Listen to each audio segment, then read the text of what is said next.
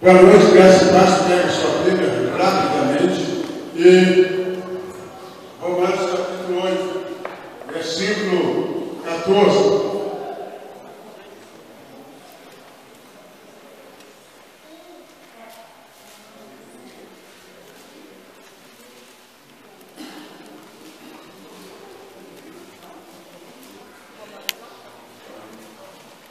Todos encontraram?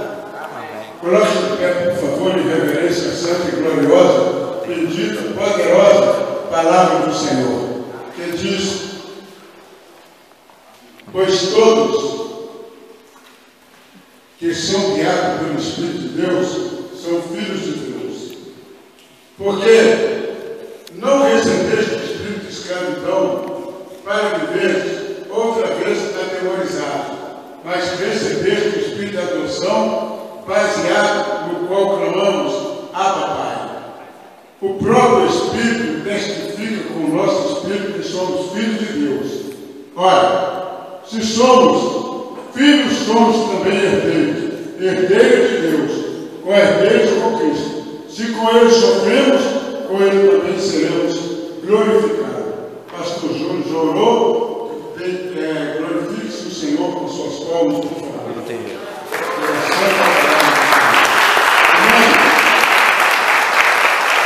Que o Senhor divide-se e abençoe esta palavra no nosso coração por vez encerrar. Bom, o que eu vou falar aqui nesta noite é sobre direitos e deveres dos filhos de Deus. Nós temos direitos porque somos filhos de Deus. Temos deveres porque nós temos a Bíblia como a nossa única regra de fé e conduta. Então, nós só podemos requerer os nossos direitos se cumprirmos com os nossos deveres. E é próprio dos filhos de Deus obedecer a Deus, porque melhor é obedecer do que sacrificar. E os filhos de Deus? Tem alguém que não é filho de Deus.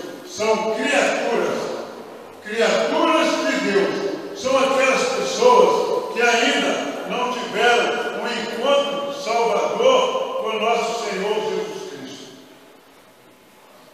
Mas, pela misericórdia de Deus, a graça de Deus, há de alcançar esses corações e a sua misericórdia haverá de salvá-los. Porque é plano de Deus que todos venham ao pleno conhecimento da verdade. E aí, mas nós que somos filhos de Deus, a palavra do Senhor diz que ele veio, ele veio para que eram os seus. E os seus não receberam. Antes, eles trocaram por um ladrão. Antes, eles pediram a sua crucificação. Mas nós que servimos a um Cristo vivo, que temos a esperança viva, sabendo que Ele veio para que eram os seus. Os seus não receberam, mas todos quantos receberam, deu-lhes o poder de se tornarem filhos de Deus, aqueles que creem no seu nome. Os tais não nasceram da carne, nem do sangue, nem da vontade de varão, do varão, mas nasceram da vontade de Deus.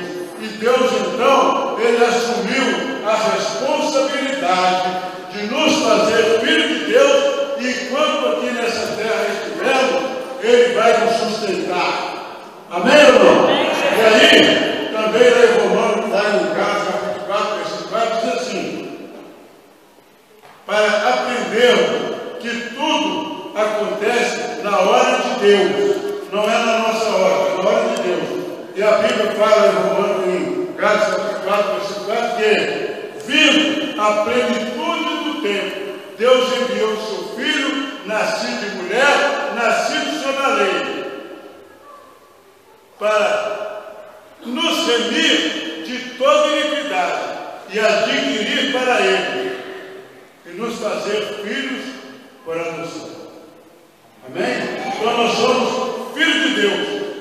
estamos registrados no cartório de Deus como filhos de Deus. o meu nome e o seu nome está lá. Deus então passa a partir de então nos proteger, conforme a irmã doutora Simone deu esse testemunho. É porque o anjo do Senhor acampa ao redor dos que o temem e os livra.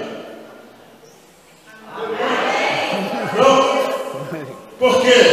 Porque temer a Deus é o dever de todo homem. Então, tem pessoas que temem a Deus, tem pessoas que não temem a Deus. Aquelas pessoas que não temem a Deus são filhos bastardos. Mas nós que tememos a Deus, nós somos filhos protegidos do Senhor. Amém? E como, como, como filhos de Deus, nós temos o direito, o direito, isso é direito concedido Calvário, de derrotar os nossos inimigos, sabendo que somos filhos de Deus. Amém. Nós temos o direito de derrotar as dificuldades que surgem à nossa frente, porque nós somos filhos queridos de Deus. E aqui diz o seguinte: ó, não pode haver espaço na sua para derrota. Jesus nunca foi derrotado e deseja o mesmo para nós. Amém. Então, nós, nós podemos, às vezes, às vezes, porque nós temos as nossas emoções e vivemos também os nossos sentimentos, às vezes nós enfrentamos uma aparente derrota, mas não é derrota, porque a nossa vitória vem do Senhor, e a vitória que vence o mundo é a nossa fé. Então, meu querido e amado irmão, eu quero que você aprenda nessa noite a entrar nos armazéns de Deus e buscar aquilo que te pertence por direito. Olha só. Sabe por que Paulo conseguiu suportar tantas dores sem ser derrotado? Porque ele era capaz de afirmar assim, ó, posso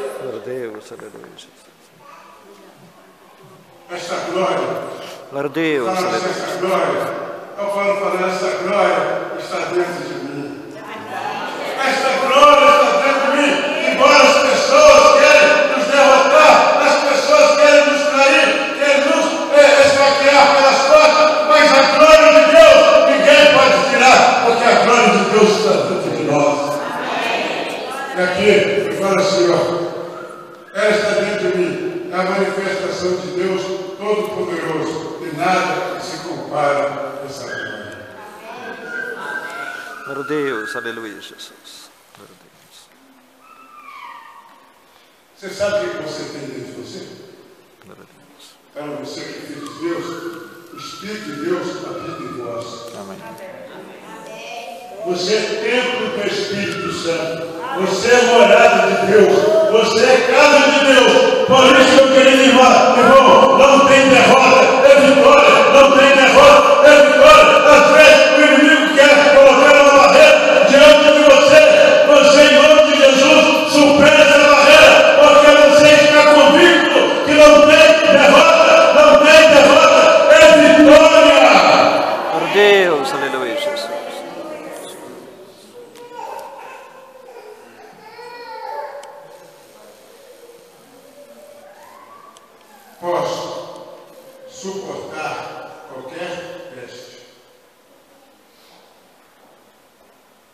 Podemos suportar qualquer teste.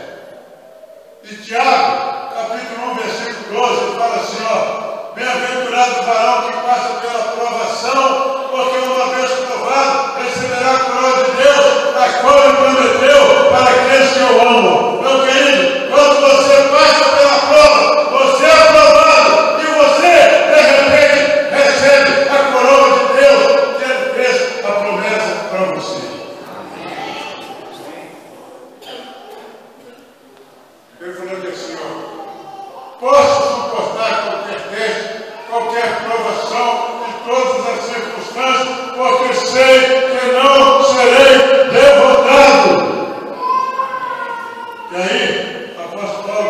escrevendo a Timóteo e fala assim, ó, porque Deus não nos deu um espírito de covardia,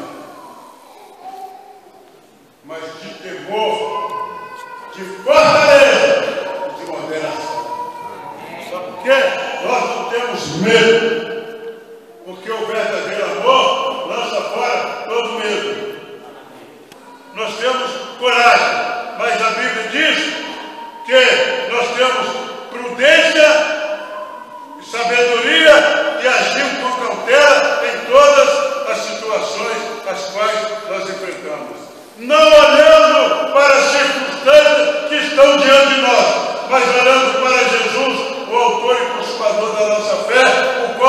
glorioso como é proposto, desprezou a fama, suportou a cruz e assentou-se à destra do trono de Deus.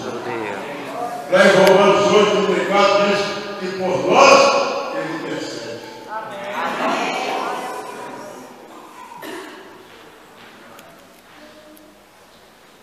Jesus nunca foi derrotado. estava, eu tenho um livro, chama-se, a vida de Jesus, nos tempo de Jesus, na cidade de Jerusalém. Quando Jesus foi preso, eles entregaram a Pôncio Pilatos. Pôncio Pilatos queria ficar livre de Jesus.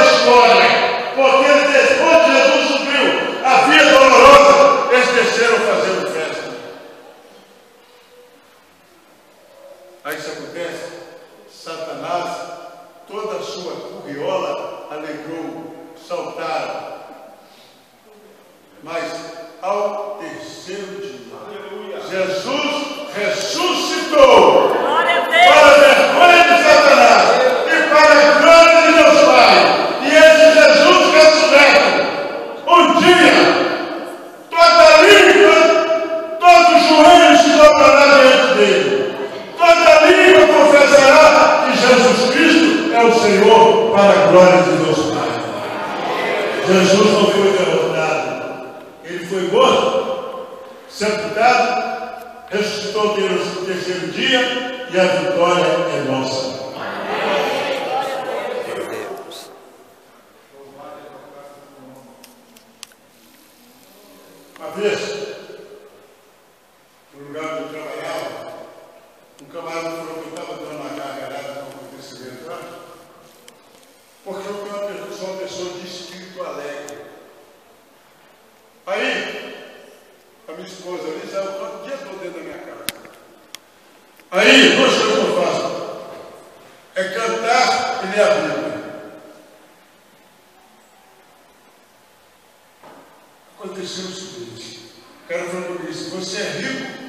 ou você é bom? E por quê? Você só fica rindo. Eu não sou bom e nem sou rico. Eu tenho é Jesus no meu coração. E a Bíblia diz que a alegria do coração formoseia em Deus. Ele nunca mais falou nada comigo e eu passou a me respeitar de uma forma extraordinária a partir daquele dia. Sabe por quê, meu irmão? Nós temos alegria. Nós não somos palhaços. O palhaço vive no brincadeiro. Jesus nos colocou no pódio. Amém? Jesus nos colocou no pódio. Aí as pessoas mesmo entendem o nosso estilo de vida.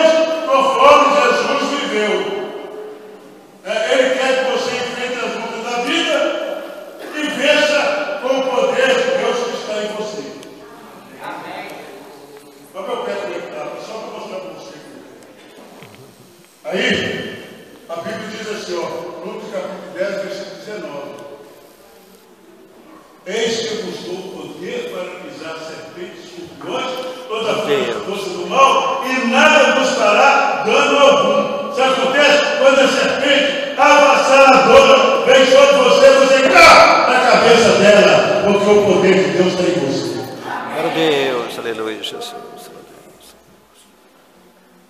E assim, Deus quer que você viva.